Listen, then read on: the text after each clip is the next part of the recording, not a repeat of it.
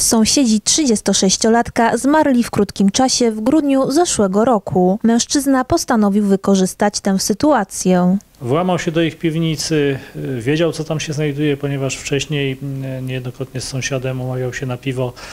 Skradł pralkę, skradł rower. Skradzione rzeczy mężczyzna ukrył w swojej piwnicy. O włamaniu policję powiadomiła rodzina zmarłych. Policjanci odzyskali te przedmioty, a mężczyzna usłyszał zarzuty y, dokonania włamania i kradzieży. 36-latek przyznał się do przedstawionego mu zarzutu. Za kradzież z włamaniem grozi nawet do 10 lat więzienia.